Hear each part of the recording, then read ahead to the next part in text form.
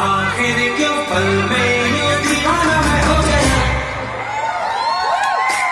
तुम्हें जो मैंने देखा, तुम्हें जो मैंने जाना, तुम्हें जो मैंने देखा। उस गाना पर मेरे को कॉल करिए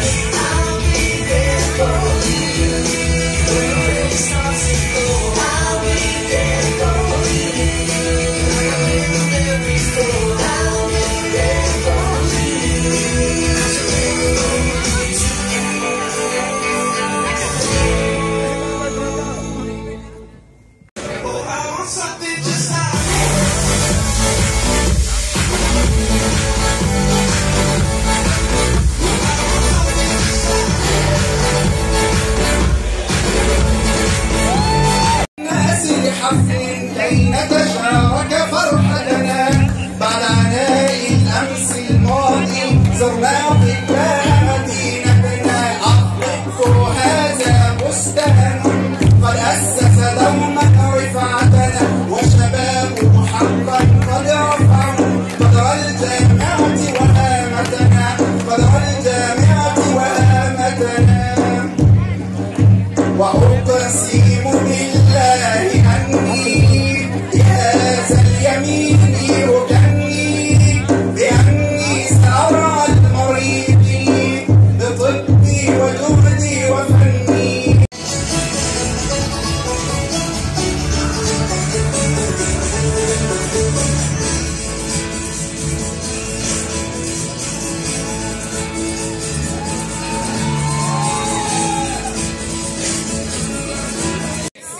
Years. This is the first so I apologize. I cannot believe that the first part of our long, long journey is finally over. As you all probably know, studying medicine is not for the weak. It is physically demanding, mentally challenging, and at times socially isolating, even without a pandemic. Yet the reward is undoubtedly immense. I learned many lessons along these years, but here are my main three, or I would like to call them Nastia's triad patience, time, and sacrifices. Time management, having lots of patience, and the readiness to sacrifice for the sake of your goals. My time, whether it was measured by days, hours, or even seconds, became my most treasured currency. Learning how to spend it wisely became my highest priority. Nonetheless, none of this would have happened without my big support. So here are my list of thank yous. Thank you to all the doctors and to the university staff for all the patience and sacrifices you gave us. Thank you for my friends and my best friends, for all the therapy sessions and understanding. Your friendships gave me the light and enjoyment that carried me through this. Thank you to my sister. You're my better half. You're my whole universe, yeah. And thank you to my mom, my rock, you, my understanding of love, and my symbol of strength. Thank you, Mom, for all the time, for all the sacrifices, and for all the patience that you give me daily. Thank you is not, not enough to express my gratitude to my mom, so I'll end it with I love you. And lastly, to all my fellow graduates and doctors, I wish you nothing but the best for the future. Thank you so much.